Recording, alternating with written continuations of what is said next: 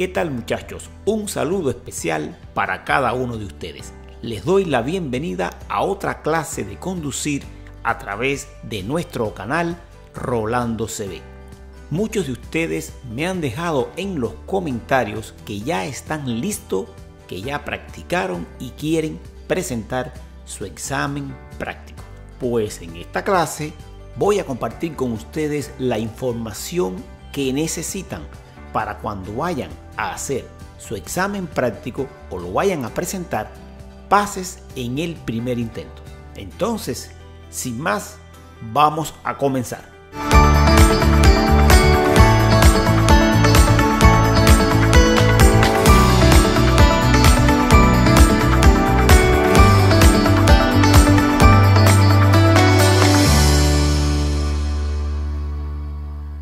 En el proceso de obtener finalmente tu licencia de conducir, necesitas presentar un examen de carretera, un examen a lo que le llamamos examen práctico de manejo. En esta prueba, mis amigos, tú como principiante debes demostrar tus habilidades para conducir en el tráfico. Por tanto, debes tener una preparación óptima para cuando vayas a presentar tu prueba puedas pasar sin contratiempo. Lo primero que vamos a tener en cuenta es que como vamos a presentar nuestro examen debemos conocer al detalle todo lo que va a pasar paso a paso. Ahora presta mucha atención porque lo que voy a indicarte que hagas es muy importante que no se te olvide.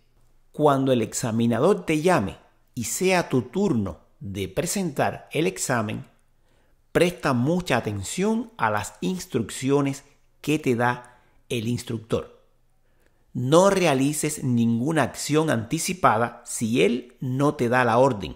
Lo primero que pasará es que él va a hacerle una inspección al vehículo que tú traíste a la prueba.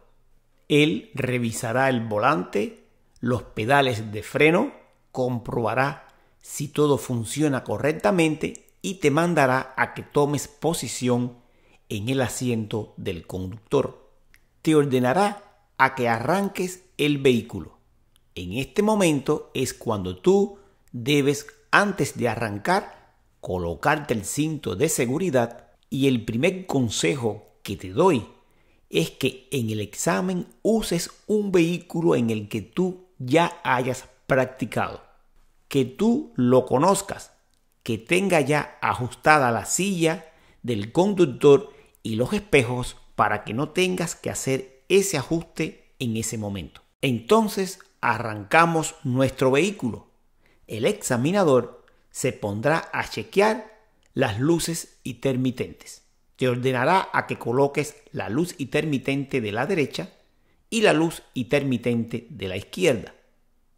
Te mandará a pisar el freno para observar si funcionan correctamente las luces de freno. También va a indicarte que toques la bocina del auto, que le muestres los frenos de emergencia, que prendas las luces nocturnas y que pongas los limpias parabrisas. Mi segundo consejo es que te aprendas de memoria en el auto que vayas a usar dónde están los limpias parabrisas, el freno de emergencia, las luces nocturnas, las luces intermitentes y todo lo que yo te he mencionado aquí. Debes aprendértelo de memoria. Entonces, una vez que el examinador haya terminado con la inspección del vehículo, se sentará en el asiento del pasajero. Y aquí va a comenzar el recorrido. Entonces te voy a dar el tercer consejo. Trata de aprenderte el recorrido que hacen en el examen. Le puedes pedir al instructor o al familiar que te está ayudando que te lleve dos o tres días antes a observar cómo es el recorrido y dónde lo hacen. De esta manera te vas a sentir menos nervioso, porque ya conoces por dónde te van a llevar, por dónde tienes que doblar y qué te van a pedir en cierto y determinado lugar de ese recorrido del examen práctico. Bueno, regresemos ahora a donde nos quedamos, donde el examinador se sienta en el asiento del conductor para darte la orden de salida del estacionamiento donde tú tienes tu carro estacionado. Cuando recibas la orden de salida del parqueo, colocas la reversa y tomas o adoptas la posición de reversa. Realiza esta maniobra solamente liberando un poco el freno para que tu automóvil se desplace en reversa muy lentamente. De esta manera podrás percibir todos los vehículos que se puedan aproximar y los peatones que puedan pasar por detrás de tu carro. Siempre presta mucha atención y que el examinador observe en ti una persona precavida. Otra de mis sugerencias es que en las prácticas realices bastantes repeticiones de la salida de un estacionamiento. Para dónde debes girar tu volante según para dónde te mande el examinador. Y un detalle que para muchos les hace descalificar la prueba es que una vez que salga de tu estacionamiento, ocupes la parte derecha de la vía. Siempre tienes que darle a entender al examinador que tú sabes circular por el lado derecho. Con mucha frecuencia te aproximarás a una parada de stop donde debes demostrar un giro sea a la derecha o sea a la izquierda. Siempre recuerda de colocar tus luces intermitentes 100 pies antes de llegar a la esquina o a la parada de stop, o cuando el examinador te dé la orden de hacer un giro. Que no se te olvide colocar las luces intermitentes. Muy importante este detalle.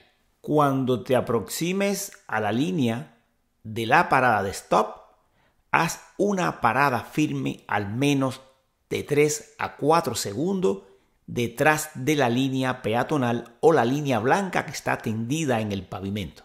Una sugerencia que yo te puedo dar es que cuando hagas la parada firme detrás de la línea del stop, cuentes hasta 4. Una vez que en silencio cuentes hasta 4, entonces liberas tu freno y realizas la maniobra teniendo en cuenta que los vehículos que se aproximan tienen preferencia. Conducirás tu vehículo siguiendo las órdenes del examinador. Una de las maniobras que se te van a presentar es la maniobra de los tres puntos o en muchos estados le llaman vuelta en K. Y aquí les voy a demostrar con pocos detalles cómo se hace esta maniobra porque ya tenemos videos en el canal donde explicamos con detalle cómo te la debes aprender para realizarla en las prácticas. Para la vuelta de tres puntos, lo primero que el examinador te va a mandar es a detener tu vehículo y seguidamente te va a dar la orden de que realices la maniobra. Lo primero que vas a hacer es colocar tus luces intermitentes vamos a monitorear el tráfico que se pueda aproximar de frente y por detrás. Entonces, vamos a girar todo el volante completo con el auto frenado hacia la izquierda. Soltaremos suavemente el freno y avanzaremos hasta el borde izquierdo de la carretera. Aquí les puedo mostrar. Cuando llegues al borde izquierdo, detienes tu vehículo sin que las gomas delanteras se salgan del asfalto. Te paras y vas a poner el auto en reversa. Seguidamente vas a girar todo tu volante hacia el lado derecho y vas a colocar la mano derecha detrás del asiento del pasajero para realizar una pequeña reversa. Irás en reversa hasta el límite del borde trasero, igual teniendo en cuenta que las gomas traseras no pueden salirse del pavimento. Finalmente, te detienes, colocas la palanca en D de driving y después giras todo tu volante hacia el lado izquierdo y sales conduciendo y tomando la parte derecha de la vía. Vas a continuar conduciendo siguiendo las órdenes del examinador. Otra habilidad que él te va a pedir que tú demuestres es la reversa o a lo que muchos le llaman marcha atrás. Entonces vas a detener tu vehículo cuando él te dé la orden y vas a poner el carro en reversa. Adoptarás la posición correcta de reversa. Vuelvo y repito, la mano derecha detrás del asiento del pasajero y la mano izquierda en el centro del volante. Fíjense, miren la posición aquí como les muestro. Muchos de ustedes creen que para dar reversa pueden usar las dos manos en el volante y mirar por los espejos retrovisores. Eso es incorrecto. Tienes que seguir las instrucciones que yo te estoy mostrando aquí. Aunque tú realices una pequeña mirada a los espejos laterales para mirar hacia atrás, mantente alternando la mirada por encima del hombro derecho también hacia atrás. Eso es muy importante comenzarás a realizar la reversa y te mantendrás controlando el auto en el carril hasta que el examinador te mande a detenerte. Si te sales de la carretera asfaltada, fallas la prueba. Entonces es tu deber y te lo aconsejo practicar bastante en las clases la reversa. También tenemos acá en el canal videos específicos para enseñarte la técnica y trucos para que te salga bien la reversa. Así que todo eso lo tenemos disponible en nuestro canal.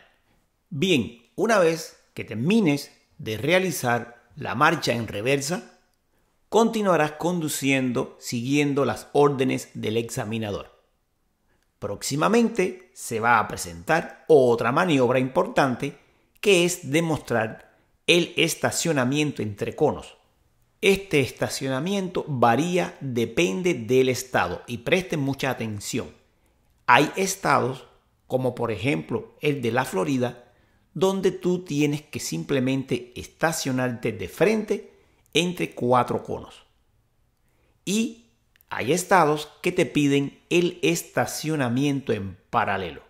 Vamos a explicar primeramente el estacionamiento de frente y después vamos a explicar el estacionamiento en paralelo. En el estacionamiento de frente entre cuatro conos, vamos a realizarlo siempre generalmente por el lado izquierdo. Una vez que nos den la orden, vamos a colocar nuestras luces intermitentes. Avanzaremos lentamente y vamos a detener nuestro automóvil cuando logremos alinear el espejo retrovisor de la izquierda y la goma delantera de la izquierda con el primer cono que se encuentra a nuestra izquierda. Les voy a poner la cámara de diferentes ángulos para que tengas una idea a lo que me estoy refiriendo. Ahí me detengo. ¿Qué voy a hacer? Voy a colocar o voy a girar todo mi volante hacia la izquierda. Seguidamente suelto el freno, que mi auto se desplace lentamente para tener tiempo de introducir por el centro de los conos y estacionar mi auto correctamente. Cuando tú determines que ya lograste colocar tu auto correctamente dentro del estacionamiento, debes colocar la P de parqueo. No se te debe olvidar. Coloca la P de parqueo una vez que hayas terminado de estacionar. Una vez estacionado, vas a esperar la siguiente orden del examinador. En la mayoría de los casos, dentro de ese tipo de estacionamiento, hacen una pregunta. Y la pregunta que hacen es la siguiente. Si te tienes que estacionar en una loma cuesta arriba, con o sin bordillo, cómo tú lo harías. La respuesta que tienes que dar es la siguiente. Primero, voy a girar todas las llantas delanteras hacia la izquierda o apuntando hacia afuera. Luego colocaré mis frenos de emergencia. Coloco seguidamente la transmisión en parking y después apago mi vehículo. Si la pregunta cambia y es refiriéndose a un vehículo cuesta abajo, entonces las gomas delanteras deben ir giradas hacia la derecha. También se coloca el freno de emergencia, luego la transmisión en parking y finalmente se apaga el vehículo. Es importante que se aprendan bien la respuesta a esta pregunta. Te la pueden hacer durante el recorrido mandándote a estacionar al lado de un bordillo o banqueta o te la pueden hacer dentro de los conos cuando tú te estaciones. Bien, hay estados que no te piden estacionarte de frente dentro de conos, pero sí te piden estacionarte en paralelo dentro de cuatro conos. Y aquí va la explicación. Al tomar la orden de que te estaciones en paralelo dentro de dos automóviles o dentro de dos conos, vamos a tomar aquí el ejemplo de cuatro conos para hacerlo mucho más fácil, porque así lo piden en la prueba. Lo primero que vas a hacer es desplazarte con las luces intermitentes indicando que te vas a estacionar a la derecha vas a desplazarte lentamente a una distancia aproximada de un metro y medio a dos metros a tu discreción.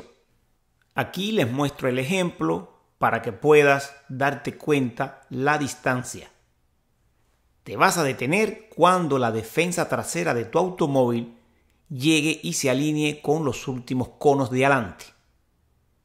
Ahí te vas a parar Ahora le vamos a dar una vuelta y media solamente al volante hacia la derecha y dejaremos el carro en reversa para que se desplace hacia atrás. Vamos a frenar el carro cuando logremos ver por la ventana del pasajero que se tenga el cono de la izquierda aproximadamente al lado de la puerta del conductor o en el centro de la ventana.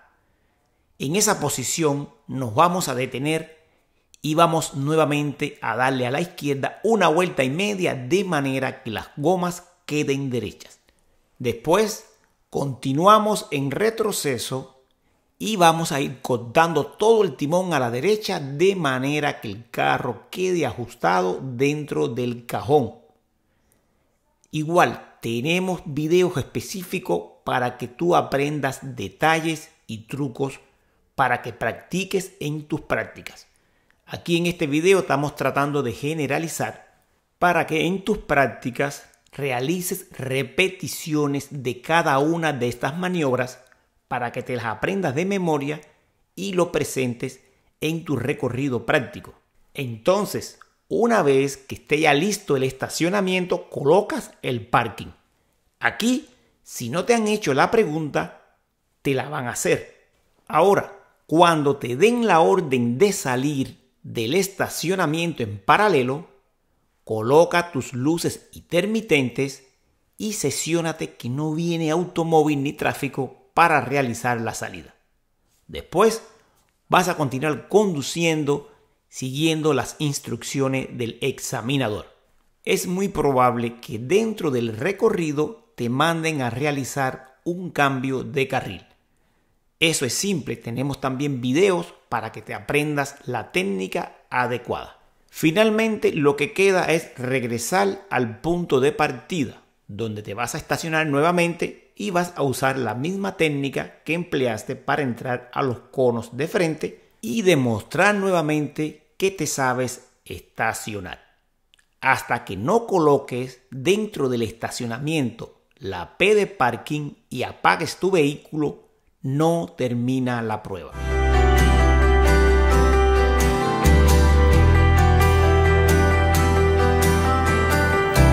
Bueno muchachos, yo espero haber sido bastante claro en mi información. Te recomiendo que repitas este video si no estás claro en lo que tienes que demostrar para que lo practiques en clases. No vayas a una prueba débil en cada una de estas habilidades porque vas a fallar. Así que practica en tus clases cada una de estas habilidades. Bien, mi clase llega hasta aquí. Te sugiero que te suscribas a este canal, que le des un clic a la campana de notificaciones para avisarte cuando se suba la próxima clase. Te deseo muchísima suerte si próximamente vas a presentar tu examen. Y yo me despido y nos vemos en un próximo video de este canal.